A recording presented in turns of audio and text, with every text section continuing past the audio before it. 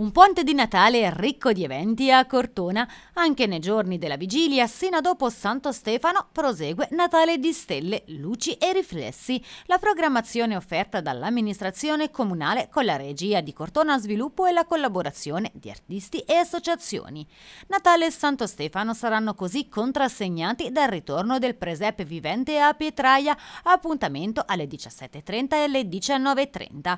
Il 26 dicembre nella cattedrale di Cortona alle 16.30 invece il concerto I bambini cantano il Natale, alle 17 poi in Piazza della Repubblica Light and Fire Show con le scintille dei giocolieri acrobatici.